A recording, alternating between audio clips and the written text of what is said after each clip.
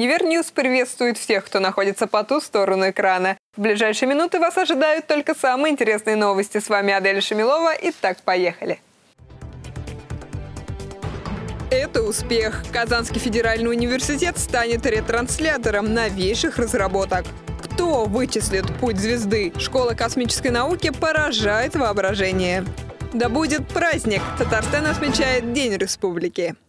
Казанский федеральный университет готов к расширению кооперации с системой здравоохранения Татарстана. Такой вывод был сделан на совещании Совета руководителей медицинских учреждений республики. Нашей съемочной группе удалось попасть на данную встречу и узнать, кто получит доступ к технологиям и разработкам ученых КФУ. Узнаете и вы.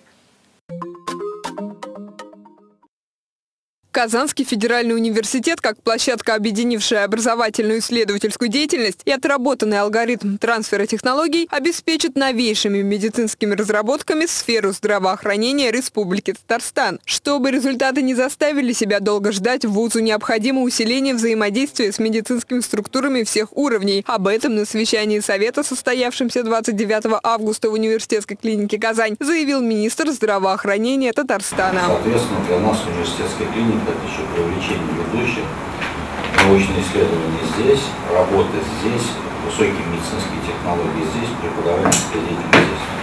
Далее слово взял главный врач клиники Альмир Абашев. Он рассказал совету, что позволяет университетской клинике оставаться одним из передовых медучреждений республики и как можно реализовать весьма амбициозные проекты. Члены совета обратили внимание на современные корпуса университетской клиники Казань, которые оснащаются по последнему слову техники.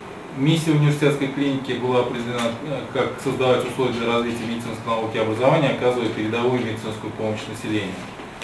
И три основных э, вида деятельности в нашей работе – это образование, научные исследования и, конечно, медицинская помощь населению. Ознакомившись с презентацией планов и проектов клиники, ректор КФУ Ильшат Гафуров отметил, что стратегия развития медицинского подразделения опирается прежде всего на потребности нашего региона. И у Казанского федерального есть для этого все необходимое – многочисленные площадки и ресурсы. В дальнейших перспективах ректор видит создание передового центра медицинской науки. Хотим сделать хороший центр науки, медицинской науки. И этот вопрос я озвучил на первом совете по науке у президента нашей республики. И на базе этой клиники обязательно будет межрегиональный центр для клинических исследований. Гости, получившие возможность своими глазами увидеть результативность работы КФУ, оценили поступившее предложение. Вполне вероятно, что уже в ближайшем будущем студенты медицинских направлений университета будут иметь возможность практиковаться не только на площадке Альма-Матер, но и в других республиканских клиниках и центрах. А медучреждения, с другой стороны, получат доступ к технологиям и разработкам ученых КФУ. Придя к этому выводу, стороны также договорились держаться в постоянном контакте в вопросах разработки, апробации и внедрения решений в здравоохранении. Таким Таким образом, совместные совещания Совета медицинских руководителей Татарстана с представителями КФУ станут регулярными. Адель Шамилова, Роман Самарин, Univer News. В КФУ открылась четвертая молодежная школа «Космическая наука». Она посвящена космическим исследованиям астрономических объектов, астрофизике звезд и галактик, современным представлениям о Вселенной. Все подробности узнавала Аурелия Сташкова.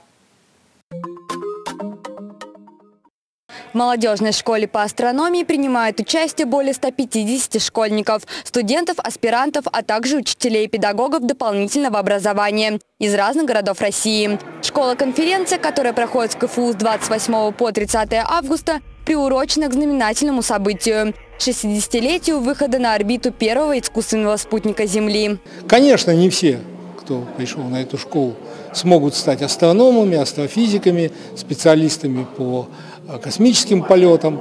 Но весь этот интерес, он очень полезен. Он позволяет молодым людям понять, что наша Земля только маленькая часть того, что есть на белом свете, и что э, ну, это куда э, меньшая пылинка, чем, скажем, один человек в масштабах большого города. В этом году существенно больше старшеклассников изъявили желание принять участие в школе. Неудивительно, что интерес растет. В России молодежные школы по астрономии, где лекторы ведущие ученые России – большая редкость. Космическая наука едва ли не единственная возможность встретиться с авторитетными учеными и пообщаться с такими же увлеченными ребятами, как они сами. Вселенная – это множество таких срезов. Теперь я называю их D2-бранами. Это плоскости, к которым можно прикреплять струны. Черная дыра – это как раз сжатая струна из энергии. Аурелия Сташкова, Роман Самарин, Univer News. Обострение конфликта на Корейском полуострове привело к новому запуску баллистической ракеты. Что же произошло и к чему приведет новый кризис, смотри в сюжете Олега Кашина.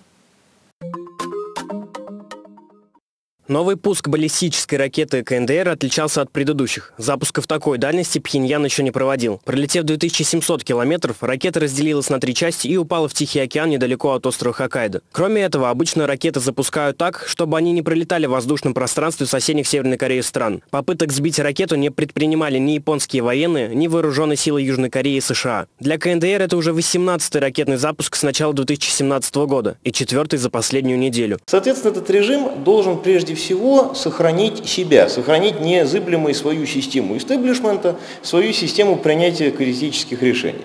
Естественно, что в этой ситуации, обладая достаточно приличным технологическим потенциалом, чтобы об этом не говорилось, имея возможность да, строить ракеты, имея возможность сделать атомную бомбу, соответственно, было бы, по крайней мере, опрометчиво этими всеми благами в кавычках не воспользоваться. С иными словами, это попытка не силового давления, слишком силы не равны, но, а, так сказать, заявление о намерениях и о неких своих возможностях. Последние запуски КНДР проводят из-за совместных учений войск США и Южной Кореи. Такие учения проводятся регулярно. Очередные начались 21 августа и закончатся 31. КНДР воспринимает данное учение как провокацию. Кроме этого, Дональд Трамп заявил, что Америка ответит огнем и яростью, каких мир еще не видывал, если КНДР продолжит агрессивную внешнюю политику. Соединенные Штаты Америки, они поставили перед собой задачу, это было, кстати, совершенно официально включено в их стратегический курс еще при администрации Буша-младшего, они поставили перед собой задачу да, ликвидации ликвидации тех режимов, которые в той или иной степени их не устраивают. Запуск ракеты в сторону Японии обострил конфликт на Корейском полуострове. Так, премьер-министр Японии и президент США провели 40-минутный разговор по телефону, по итогам которого объявили, что усилят давление на Пхеньян и обещали созвать экстренное заседание Совета безопасности ООН, на котором обсудят новые санкции. Олег Кашин, Роман Самарин, Univer News. 30 августа жители Республики Татарстан празднуют рождение своей государственности. В этот день, в 1990 году, Верховный Совет Татарстана принял декларацию о государственном суверенитете Татарской Советской Социалистической Республики. Последние дни лета Казань празднует два главных своих праздника – День города и День Республики Татарстан. В этот день в 1900 году Верховный Совет Республики принял декларацию о государственном суверенитете Татарской АССР. Это было сделано с целью повышения своего статуса до уровня Союзной Республики СССР. 21 марта 1992 года в Татарстане прошел референдум о государственном суверенитете Республики Татарстан. На вопрос, согласны ли вы, что Республика Татарстан – суверенное государство, субъект международного права, строящий свои отношений с Российской Федерацией и другими республиками государствами проголосовало положительно более 60% граждан республики, принявших участие в голосовании. После распада СССР Татарстан вел сложные переговоры с Российской Федерацией, которые завершились подписанием в 1994 году договора о разграничении предметов введений и взаимного декларирования полномочий между органами государственной власти Российской Федерации и органами государственной власти Республики Татарстан. К сожалению, договорные отношения, похоже, прекратятся в этом году. Несомненно, то, что Казанский федеральный Университет вносит свою лепту в процветание Республики Татарстан. Празднование Дня города и Дня Республики Татарстан началось с торжественного открытия памятнику татарскому поэту Хади Такташу. В церемонии принял участие президент Республики Татарстан Рустам Миниханов, мэр города Казани Ильсур Метшин и также сотрудники Казанского федерального университета. Программа праздника в 2017 году предлагает открытие нескольких социальных объектов, а также развлекательное шоу и концерты. Каждому найдется развлечение по вкусу. Диана Шилова, Univer News. На этом наш выпуск подошел к концу. Следи за последними новостями в социальных сетях и будь в теме самых интересных событий вместе с Универ До новых встреч!